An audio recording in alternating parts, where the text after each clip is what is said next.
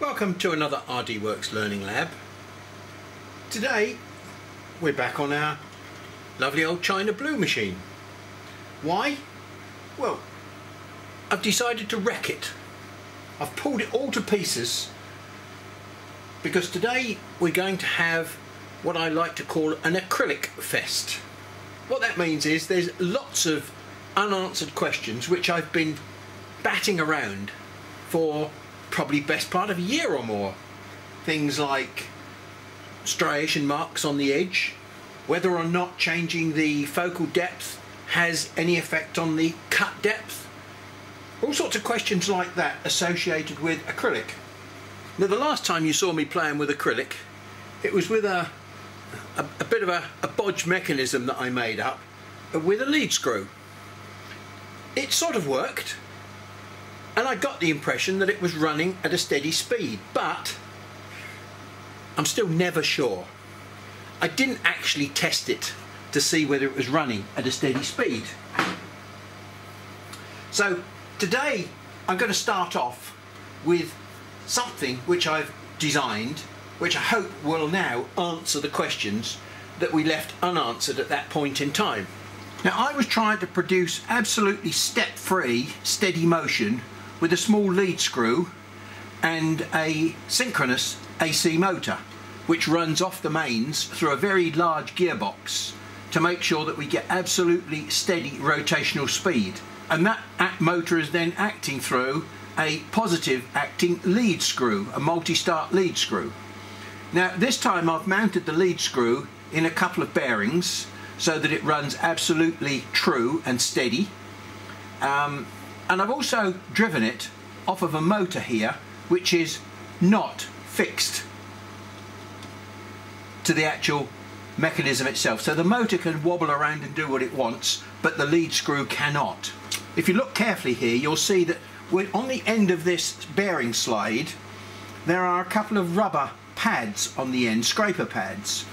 And I've made a little shoe which fits over the rubber pads and is smaller than the overall length so that there is no play in this head. It's a little bit of compression there. So I've tried to remove every possible way that we're going to get slop or random motion in the mechanism. I've just clamped it on the top here because it doesn't need to be any more than that. It's only got to be constrained from moving in this direction so that we get good movement in the head.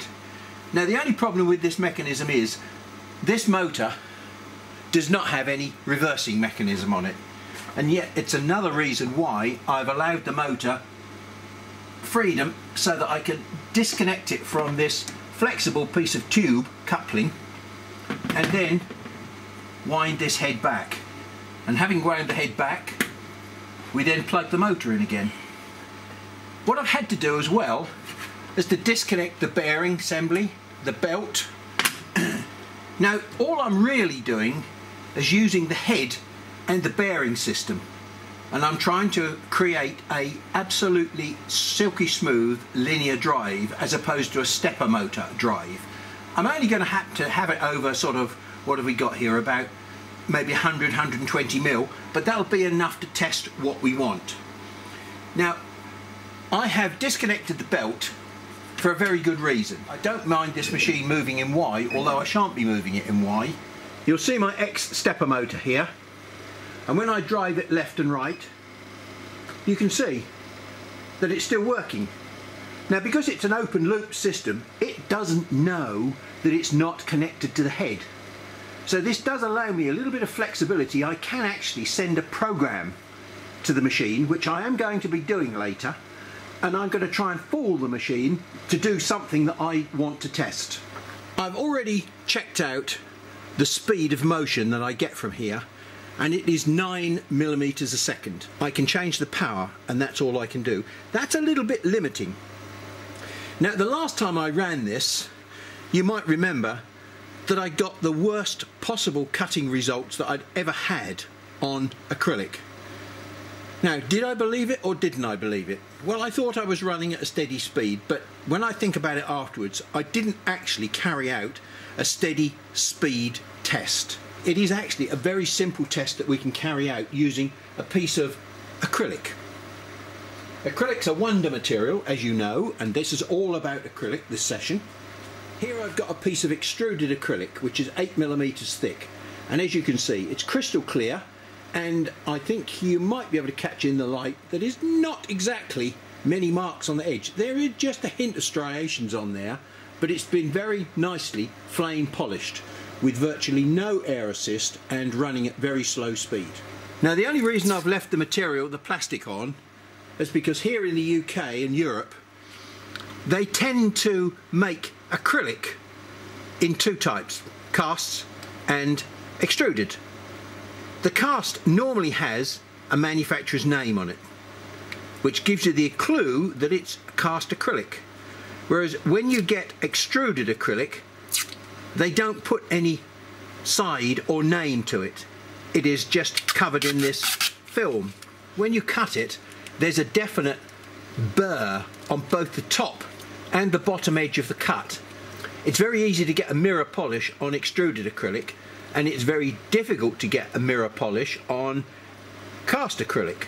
We're going to start off with the easiest material to work with which is the extruded acrylic and because this has got a really nice clear edge on it I'm going to use this edge to check the speed. I'm starting off using a 2 inch lens in this machine and as you can see I've got zero air assist on here. All I need is a slightly longer piece of pipe and we can have air assist on here. What we're trying to achieve is a completely uniform and level cut into the material. Now if I get wavy shapes it means the head is moving like this because when the head stops the beam will cut deeper. I need to have a uniform cut along here to prove that I've got a uniform speed along here.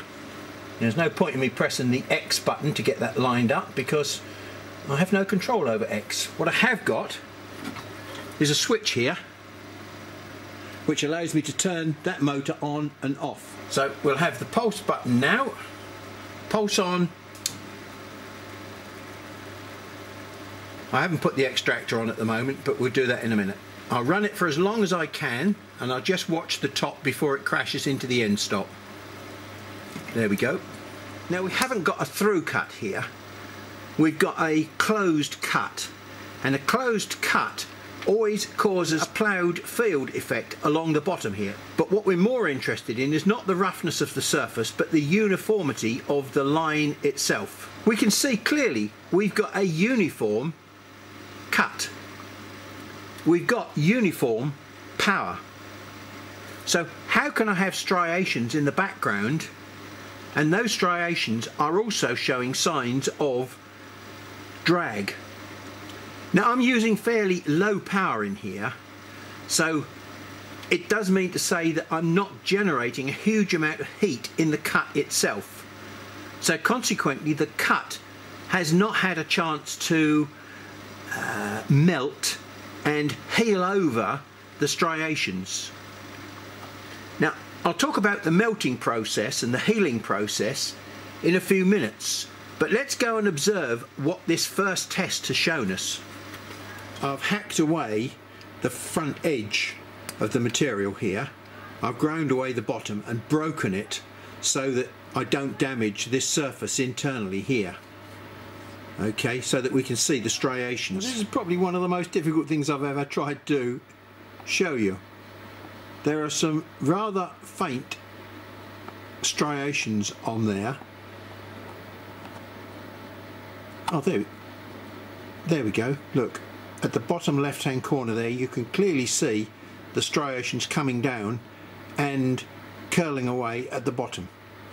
I think the first question we have to ask is how is it possible to get these striations when we don't have any intermittent movement, we don't have any pulsing air, and we know we've got a steady beam because we can see the line is flat as it cuts its way into that material.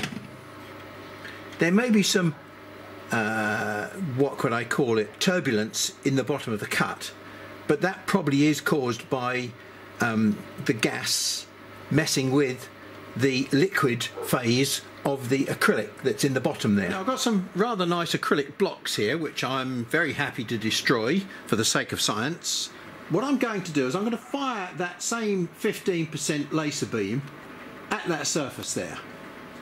And what I'd like you to do is just observe what happens.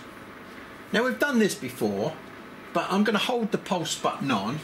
Now 15% probably will be enough energy instantly turn this surface here to liquid but before you even see any liquid it'll evaporate. Now you can see it's still evaporating but sooner or later look you can just see around the outside here can you see that liquid forming now? Here's what we've just produced and as you can clearly see we've got a point at the bottom which is where the high energy density is in the beam but as we get further and further out we get lower and lower energy density I hoped you notice that it was only when the beam was fairly well established and we'd burnt quite a long way in that the high energy part of the beam that was doing evaporation was not the part of the beam that was causing the liquid. The liquid was only happening right at the outside where the energy is very low. But it happened a long time after we started the beam. We held the beam on for a long time. So you have to build up heat in the cut to get a polished cut. Now we're going to talk about this later and we're going to demonstrate beam polishing but I want you to understand and remember this little picture here that it took a long time for the liquid to form around the outside of this cone. Now this is the low energy side of the beam and of course we're talking about the high energy side of the beam but the only difference between this side of the beam and the other side of the beam is the fact that this shape is not 6 millimeters diameter as it is here but it's only about 0.2 millimeters diameter when it comes out of the nozzle. So there's a big energy amplification difference between what you see here and what you see down there. But it's much easier to see what's going on here slow motion. But it's no different than what happens after the lens. The beam comes out the nozzle and the focus basically sends the beam down to a focus point like this. And at this point here which is where we're currently focused that's where we get the smallest possible beam after that it starts expanding quite rapidly we can demonstrate that very easily. Now here's how the beam is growing between 20 and 26 mil. Quite a big difference as you can see. Okay, so here's the top of the block and we're looking up into the front of the block and upwards.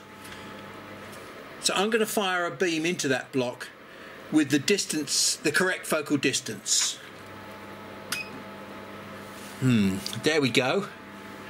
Now that's about six millimeters deep. Does that look as though it's bent? No.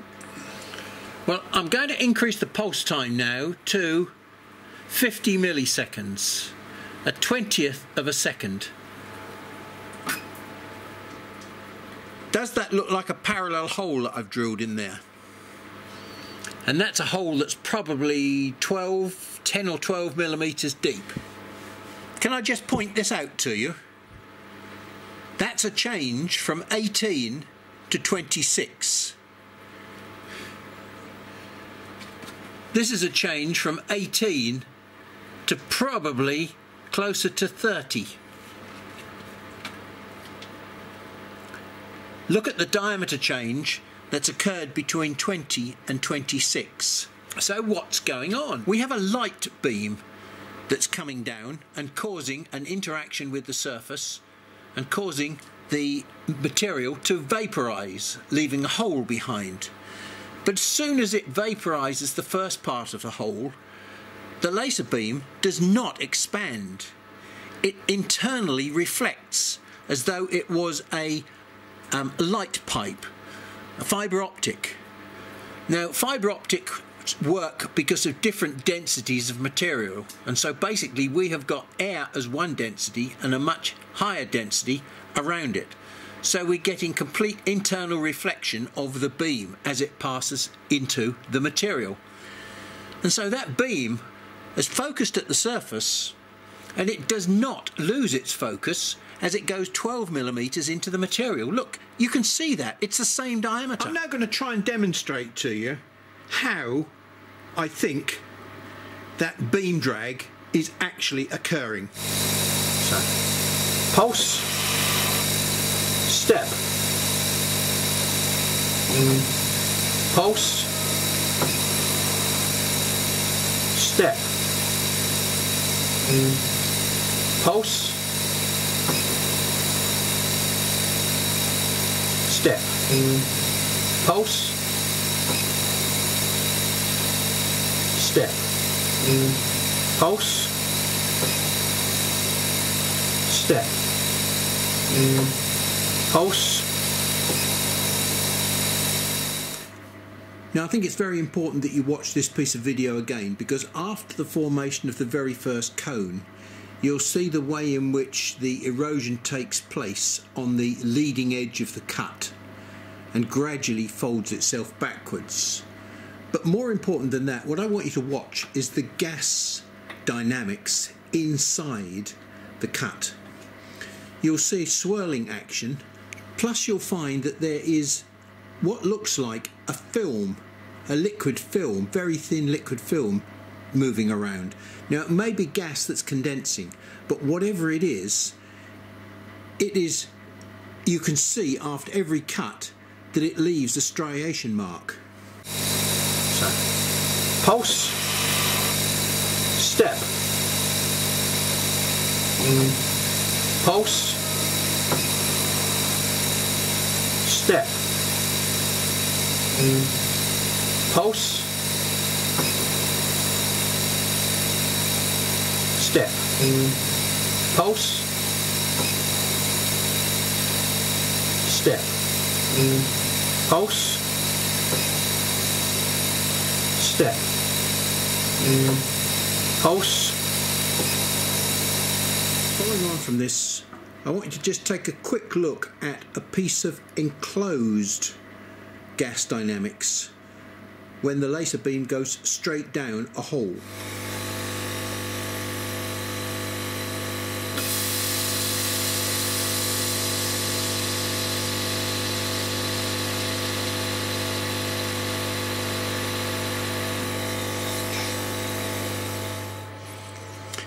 Okay, so there's a demonstration of the gas dynamics that takes place around the laser beam itself in acrylic.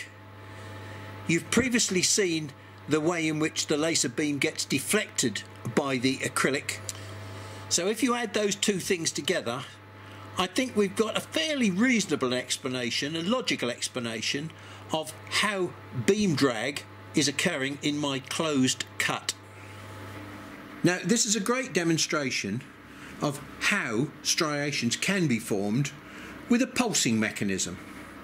Now, pulsing could either be a stepper motor edging forward, which is basically what I've simulated here, or if you've got one of the professional machines which uses an RF tube, then they've got control of the frequency of the pulses. Although they may well have silky smooth DC motors, the pulsing of the laser beam itself can cause exactly the same problem.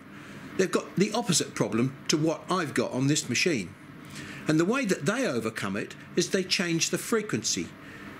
And so you can inject very high frequencies in, and so your pulses basically become so high that you don't actually see the striations. Although we've seen the creation of striations, although we've seen beam drag being demonstrated, we haven't answered my fundamental question associated with my partial depth cut. And that is, why am I getting striations when I've got constant speed and I've got constant power and I've got no air assist? There must be some other mechanism that's taking place. Now, I was anticipating that this acrylic fest was going to be just a longish one session job. But hey, I've fallen over at the first hurdle here. I haven't been able to answer why am I getting striations on this surface here. So I feel we're now going to have to be distracted by trying to find out what's going on to produce these marks here. But apart from the preparation of this part here, I've done no preparation or pre-thinking for this session. It's all exactly as you see it. It's discovery, it's coming across problems and having to answer the questions. But this time I don't want to skip over the problem. I really want to try and investigate in depth so that we come to what I consider to be a real conclusion. Now, I'm not going to say that it is the conclusion because you are going to see exactly the same things that I'm going to see and you can draw your own conclusions from that evidence. So with my distance 18 millimeters, that's the correct focal distance for that particular, for this nozzle. Um, I'm going to burn a pulse into the surface, 50 milliseconds, 20th of a second long. We can see it just here. That's all I really need to do at the moment, but while we're doing this experiment, what I'm going to do is to move the head along a little bit. I'm going to drop the head from 18 to 17 to 16 22 23 now using exactly the same power, exactly the same focal point, but this time I've changed to a piece of paper. Now this is the hole we punched through the paper at the correct focus point. Um, I've put a piece of red paper behind the white paper so that you can see the size of the hole as opposed to the burn stroke scorch halo that's around the outside. Now you can see the scorch halo is it's about 0.7 maybe 0.8 diameter. Quite large. It just shows you the influence of what's going on around the outside of the laser beam itself at the focus point. This is a plano convex lens that I've got in here. So it's not particularly um, well focused and as you can see the hole itself the very high energy part of the beam is approximately 0.2 diameter. Here's exactly the same beam fired at the acrylic. Now, as you can see, there is a slight tapering at the mouth of the acrylic. So it looks as though the hole that's produced is about 0.5. So that's 18. This one's 17 we're dropping the beam down 16 15 14 13 and we're producing a bit of a strange funnel effect. But once the beam is into the material it seems to be pretty consistent. So there was 18 again just for reference. Quite a nice clean entry at the top there. So let's go from 18 we'll take the focus up rather than down. So at 19 we've got a pretty straight entry. As we start to increase the focal distance we get a bit of a change to the shape of the entry and we get quite a big change to the depth of the cut as you can see here 22 on the right and 23 you know these are pretty abysmal. So that's just a set of interesting observations while I was punching this one hole in. And the reason why I'm punching this one hole in is because this is the one that's important to me. And uh, just to confirm that our readings are right um, we'll take a plan view look at the hole the end of the hole. This is the entry to the hole. And sure enough the hole is about 0.5 diameter yep so our side view and our plan view agree but now it's time to reflect on some of the results that we've just seen before we can really start analysing those results, I must go back and reinforce something that I've spoken of many times before. For those people that just drop in and drop out of these um, sessions, uh, they're going to they basically lose so much of the background data. And also, this is quite a difficult concept for some people to understand. Now, the laser beam itself is a beam of concentrated invisible light. Now, that's concept number one that people seem difficult, have difficulty understanding how, how you can have light but it's not there. Just accept the fact that there is something there because when you put your hand in the way, it'll get burnt. If you put a piece of paper in the way, it'll get burnt there's energy there that does something. And that energy in that beam is not uniform. Like this light here, it is concentrated in the middle, as I'm showing you there, but it gets dull towards the outside where there's less and less light. So this is a concept called energy density. We've got much higher levels of energy in the middle here of the beam than we have on the outside of the beam. Bear with me for a few moments because I'm going to turn this picture around and I'm going to ask you to imagine that this is a rain cloud. And this is the amount of rain that's in the rain cloud. It's heavy in the middle because there's a lot of rain in the middle of that black cloud. It's spring, it's showery, and the rain is going to pass overhead. Now, I think you can immediately see that just at this point here, if you're standing underneath at that point, you're going to get absolutely soaked because we're going to get a mini flood just here. Whereas at the outside of the cloud, here, there's going to be hardly any rain falling at all, not enough to even water your carrots. With that little concept in mind of rain, not much rain coming down here and a lot of rain coming down here in the middle, let's turn the picture back round again. And instead of rain, it's light. I know they're not the same thing, one is solid and one is not, but the principle is the same. We've got amounts of energy, amounts of water, whatever you want to call it, there's a variable density of things that are happening inside this beam. When that beam hits a surface, two things can happen. First of all, it could be reflected off like a mirror, and, and that does happen for metals. But we're talking about acrylic, which is a non-metal, and it's a rather special type of non-metal material, which has got some interesting properties. So let's not worry about other materials, let's just stay with the principle of acrylic and what will happen is this energy, this rain, will fall on the surface in the middle here. And instead of causing a flood, this light, it's a rather special light, infrared, which reacts with things and causes them to get excited. Now, all molecules are busy just sitting there like this at room temperature. If you start exciting them with extra energy, they get faster. And as they get faster vibrations, their temperature goes up. So what we're actually doing here, we're firing light at the surface of the acrylic and we're exciting the acrylic molecules on the surface. And that is the critical word that I want you to remember, surface. On the surface, we're exciting those molecules and those molecules then raise their temperature.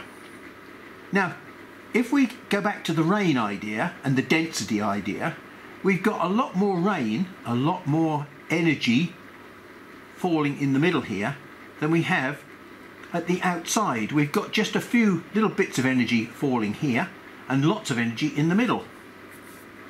And so what happens is there'll be not much heating effect on the acrylic out here at the edge but a huge amount of heating taking place just in the middle where we've got the highest energy density.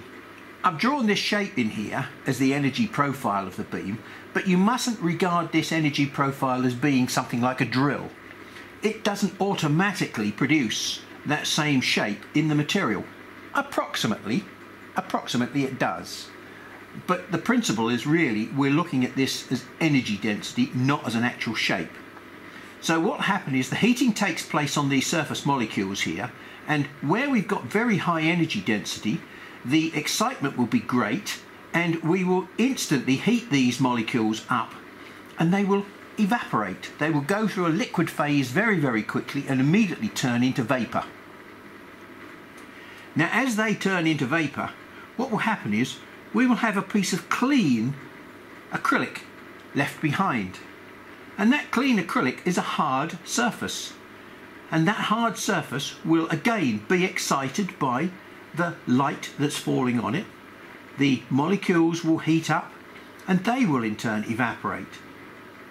So although we've got very high energy in the middle here, we mustn't forget that we've also got energy out here as well. And as time goes on, this energy on the outside here will have time to have an effect as well. So gradually, we will get a bigger and bigger erosion. And this is what's happening. It's an erosion that's taking place on this surface. And we've seen that erosion. There it is. Look, they're all over the place where I keep testing things. And as we saw in this hole that we made here, after a certain period of time, note I'm using the word time again, there was enough time to allow even this part of the low energy to start heating up the edge of the material.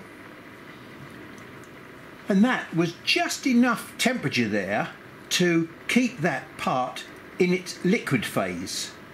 Whereas down here, there was enough energy to push it through its liquid phase and make it disappear into a vapour because we've got very high energy density here.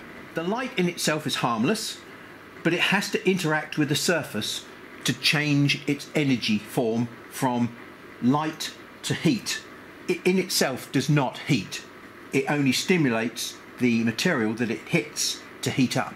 Okay, so we've got that piece of science out the way. Now we're coming back to our subject that we're looking at, which is where these striation marks come from. We burnt a 0.2 diameter hole in a piece of paper. Now with exactly the same power, exactly the same focus point, and exactly the same amount of time, we pushed it into a piece of acrylic. And the end result was that the acrylic produced a hole which was 0.5 diameter. So why the difference when I fire that beam into a piece of acrylic? We'd previously seen the gas dynamics taking place in that tube there when we fired the laser beam into it and held the power on. You could see the gases swirling around inside there. And we also saw exactly the same sort of dramatic gas dynamics that were taking place when we're producing our beam drag experiment. So we have to assume that the reason why this hole has grown from 0.2, which appears to be the beam diameter, to 0.5 is the fact that we've got some sort of interaction between the acrylic and the laser beam, which is causing some sort of gas cloud around the outside of it. The heating effect, plus possibly, and this could also be a possibility, none of this is fact because all this is supposition based on what we've seen. We have a laser beam coming in, and remember, it has internal reflection because the pipe is continuously focusing down. And so we've got complete internal reflection there. Now it's possible that every time that we get a reflection, we may well get some of this erosion taking place. And that may well be the reason why we're getting a bigger diameter hole. So this is garage science. This is not NASA laboratory science. And going from point 2 to point 5 leaves me with the impression that what we could assume is that there is no solid material here for this laser beam to react with. Now, the laser beam itself, as I said, has to react with solid material, a solid clean surface. It has to excite atoms. And if all we've got is a gas cloud here, it might excite the gas cloud but it's not doing anything to remove material from the edge of our solid block.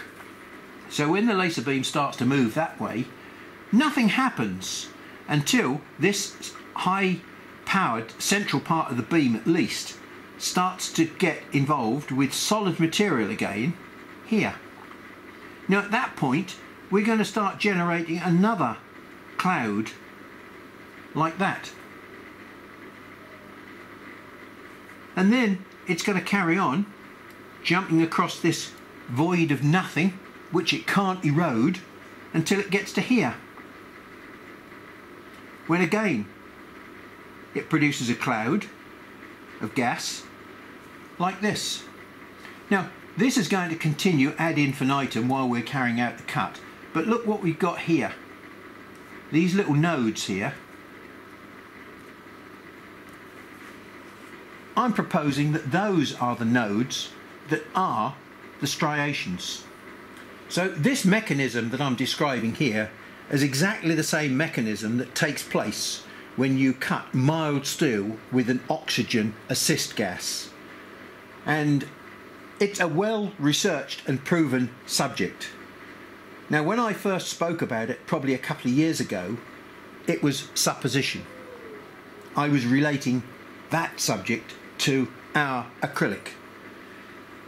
There are some doubters, but now I think I've done enough work and understand enough about the laser beam itself to be fairly confident that this mechanism, this same mechanism, does actually exist in acrylic. But everything that you've seen today indicates this direction. Whether I cut smoothly or whether I cut with a juddery action, the same mechanism is going to take place. It may be exaggerated or there may be aliasing between these patterns and the pulsing of the laser beam or the frequency of the stepper motor. So we may get some rather strange and random patterns, but the underlying striations are produced by this mechanism here I'm proposing. So how do we get rid of these striations on a cut? Well, the answer is actually quite simple. We've already discovered the answer, and that is we allow enough time for heat to build up on the edge of the cut. And heat building up on the edge of the cut means we shall get a liquid film taking place. And that liquid film will naturally want to smooth out and take away the peaks but it does depend on heat being retained in the cut itself. So if you cut too fast, you will probably create striations. These are the sorts of things that we're now going to investigate. We know that this is cast perspex because it's got labelling on it. As I mentioned before, no labelling generally means extruded. And I think you'll be able to see that from the edge finish that's on there. That's a sort of a milky matte finish. It's got, if I turn it to the light and I catch it right, you'll probably see that it has got striations in it. I'm going to run lots of tests, but I'll just show you the important ones and we'll discuss the results. Now, as I mentioned earlier, one of the limitations of this test is the speed. I'm fixed at 9 millimeters a second. So there are limited parameters that I can check out. So we're going to use this one and a half inch lens to start with without air assist. You'll know when air assist is on because listen, you can hear it.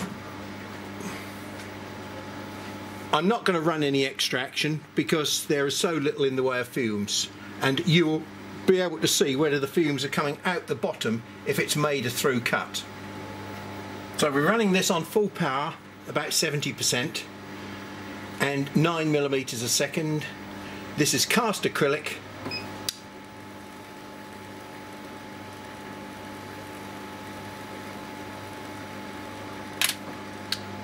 To make sure I don't lose track of what I'm doing, I'm going to put a mark on the edge that is our cut edge and I'll make a note on the bottom here of what it is. We'll go and look at those later. So now we'll run the same test again but we'll run it with air assist. Although the pump is a pulsing pump, because it goes through so many restrictions and the flow that comes out here is nothing like that coming out of the pump or what the pump is capable of, basically what comes out here is a pretty smooth flow. I think if you listen, you can hear that there's no real serious indication of pulsing.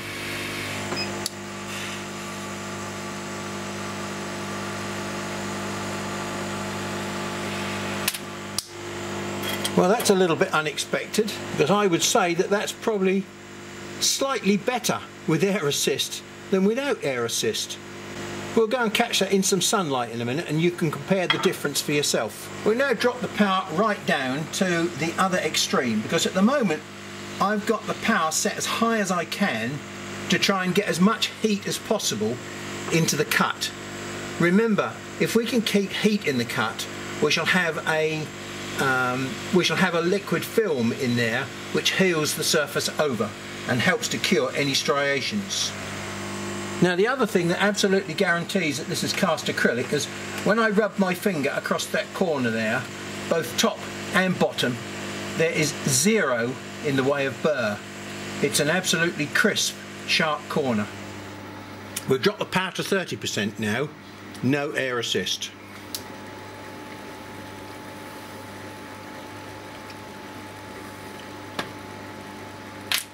Beginning to get a little bit of striation on there now because we haven't got as much heat energy in the cut. It's still shiny. Mm, I wouldn't say that it's polished, it's just nice and shiny. But again, we'll see that when we look at them and do comparisons. So now I'm expecting maybe this is going to be rough when I do it with air assist.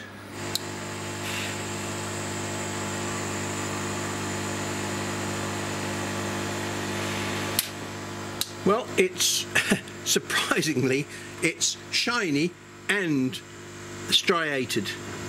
It's nicely polished, but with marks in it. Now, cast acrylic's the difficult stuff to polish. We have got some striations on the edge there. We've also got some polishing, which is quite remarkable, considering I was expecting it to be a frosted finish as soon as we put some air on it. I know that this is extruded acrylic because A, when I feel the edge here, I can feel the burr both top and bottom. And secondly, I can see that even though I did this on my light blade machine with no particular caution or care, it's really a very nice, shiny, polished finish without even trying. Now, we know that it just about worked at 20% with cast acrylic We'll run up the scale this time from 20% upwards.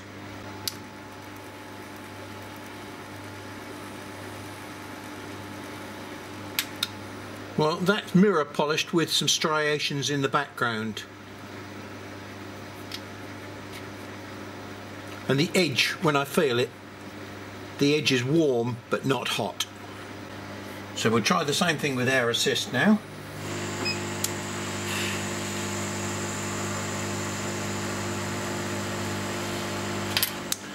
Okay, now we'll do something slightly different.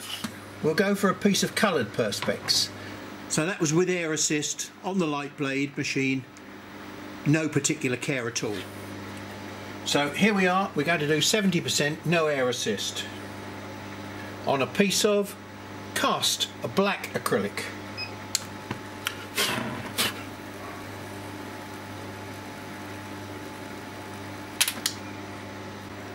All I can say is it's matte, smoothish with a few striations in it.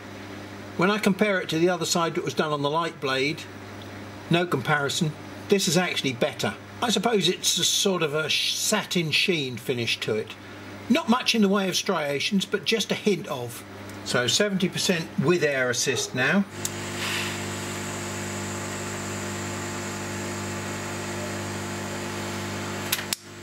Smooth, satin finish, a few hints of odd striations, but a very nice finish. Before we go and examine all those results, I can already get a feeling for the fact that it really doesn't make any difference whether we have cast acrylic or extruded acrylic. We still get, to a greater or lesser extent, striations. Some of them are very, very faint. Some of them are slightly more pronounced than others.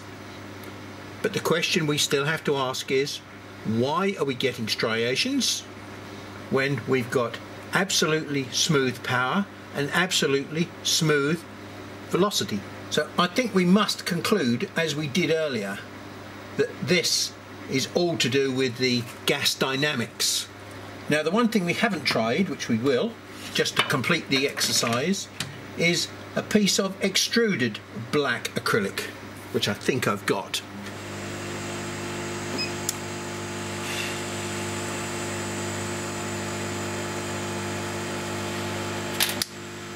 Now that's quite a nice hot cut there. I can feel it. I didn't want to hold my hand on there for too long. It's certainly, I suppose people would class that as mirror polish, but I'm looking at it extremely critically and saying, Well, I can still see a few striations in the background there. We've got a full set of data there, cast, extruded, cast, extruded, both clear and black. So we can look at the edge comparisons for those with and without air assist. Okay, now we're going from one extreme to the other. We've now got a two and a half inch lens in there, two and a half inch meniscus lens. And uh, we're going to see whether or not 70% power is enough with this huge distance here to burn through this six millimeter, uh, probably something like five and a half millimeter thick acrylic.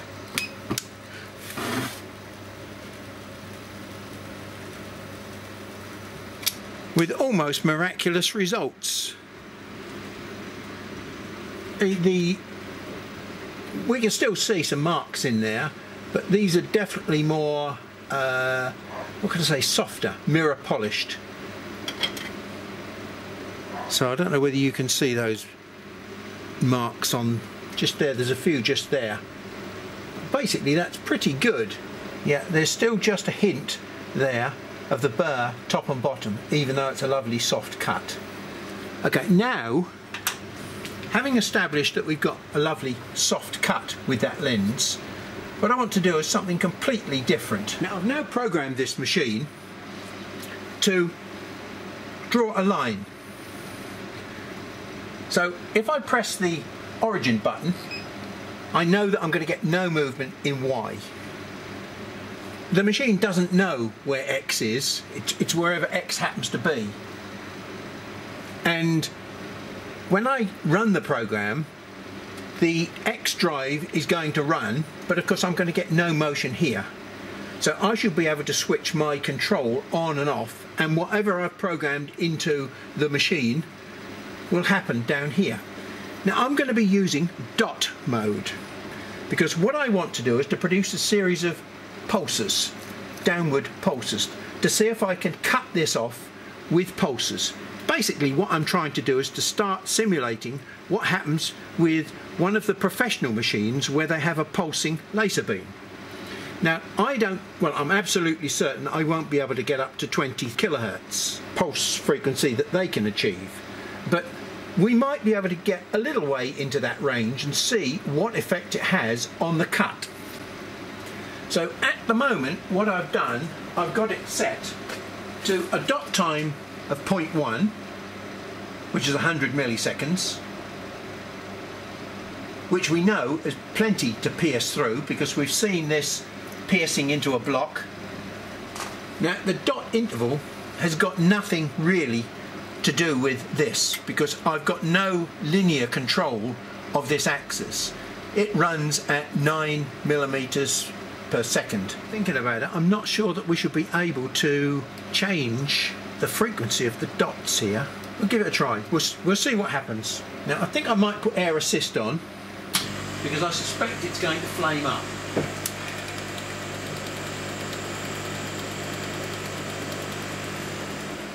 This produced a nail file. So those are pretty big. Uh, let's call them striations, shall we? But they're not natural, they're forced striations because they're nice and straight, straight down. But it's lovely and polished as well. So question is, can I change the dot frequency, I wonder? I have no ability to change the pulse frequency. So here's the trick that I'm just trying to play on the machine. The machine thinks it's going to scan a square somewhere out here and it's going to do it at one millimeter per second. So it's going to take a long time to do a single scan. But what I've also asked it to do to run at 70% in special mode. So that means technically I suppose I'm running with 50% power. It should be running with a frequency of about 20k so if this is in any way successful, it should be a fairly close simulation to what an RF tube can do.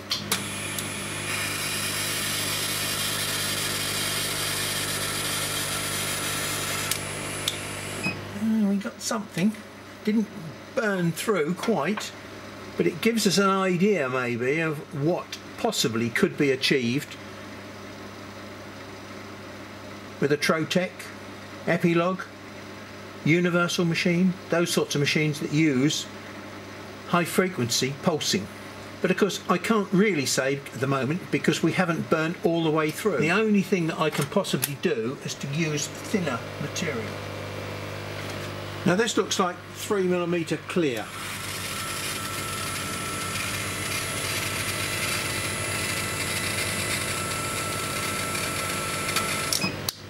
But I have to assume that from its lovely shiny finish that it must be um, extruded acrylic.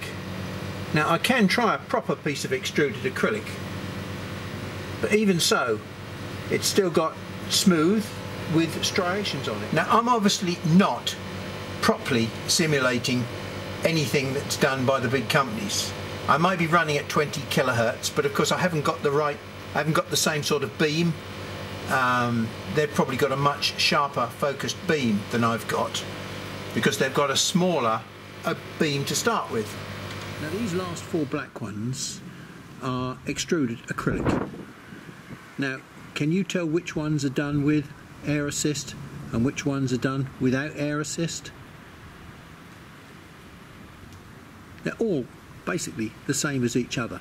As you can see there is just a hint of striations on the surface. Now the next four black ones along, again, is there any difference between them? Two of them are done at 70%, two of them are done at 20%, and there's a mix of air assist and non-air assist in there. Again, you can't tell the difference. So here we come on to these next four. They're all different heights, but if I move them in the light, probably you can see they're all shiny-ish, fairly polished. So these are all, again, extruded acrylic.